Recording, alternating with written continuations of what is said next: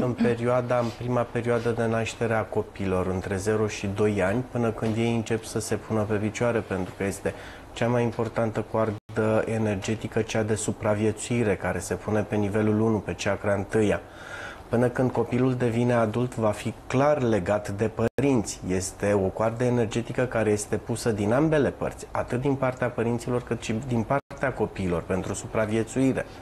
Deci este extraordinar de importantă. Dar cel mai important este să se învețe să se funcționeze pe chakra 4, pe nivelul 4, pe inimă, să dăm energie din inimă pentru a crea energie.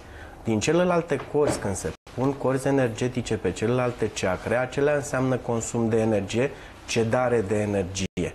În momentul în care toată lumea începe să funcționeze pe chakra 4, pe inimă, pe iubire necondiționată, pe stabilitate, acolo începe să se creeze.